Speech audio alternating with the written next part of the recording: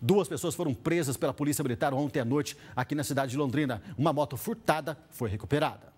A abordagem policial aconteceu na região sul de Londrina. Dois jovens foram presos com uma moto furtada.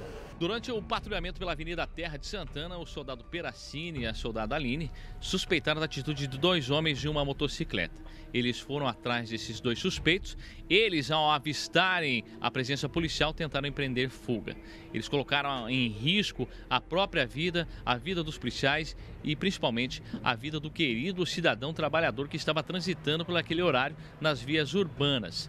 E esses indivíduos tentaram por há algum tempo empreender fuga, mas devido à habilidade do soldado Peracini, eles conseguiram é, realizar a abordagem desses suspeitos. A motocicleta tinha sido furtada dias atrás e já estava com chassi e motor adulterados. E quando abordaram esses indivíduos, foi constatado que um era maior de idade e o outro um adolescente. E quando checaram o chassi dessa motocicleta, constataram que estava adulterado. E não se satisfazendo com isso, os policiais insistiram em tentar identificar qual era a procedência daquela motocicleta. Eles não queriam apenas é, encaminhar esses suspeitos pelo crime de adulteração de sinais característicos de veículo automotor.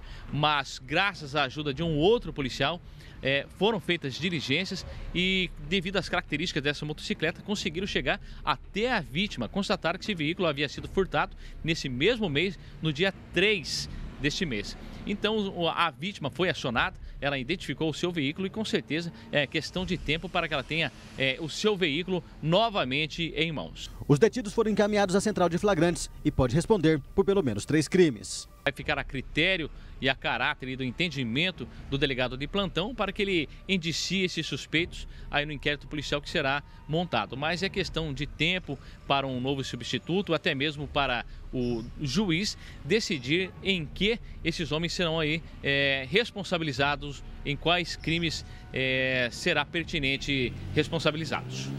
É, dois, um maior de idade e um adolescente encaminhados para a delegacia, né? Pelo menos a moto foi devolvida para a vítima.